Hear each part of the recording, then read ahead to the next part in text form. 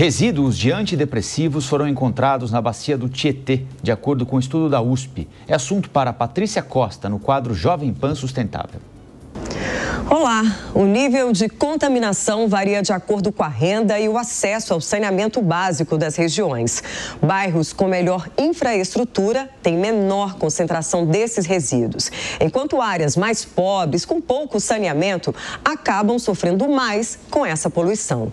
O Brasil é um dos maiores consumidores de antidepressivos no mundo e, claro, que isso não desaparece do nada. O que não é absorvido pelo corpo acaba indo para o esgoto, que muitas vezes não é tratado de forma adequada, principalmente nas regiões mais carentes. E aí, esses resíduos vão parar nos rios, como Tietê. Mais de 16% da população não tem acesso à rede de esgoto, gente. E quase metade dele, gerado no país, não recebe tratamento. Contaminação que traz riscos não só para o meio ambiente.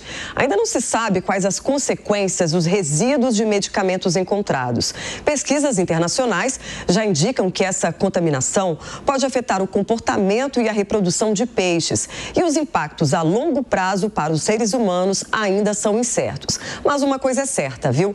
Investimentos em saneamento básico são essenciais e a cada um real investido no tratamento do esgoto se economiza pelo menos quatro reais na saúde. Dinheiro aí usado para combater as doenças causadas por essa poluição.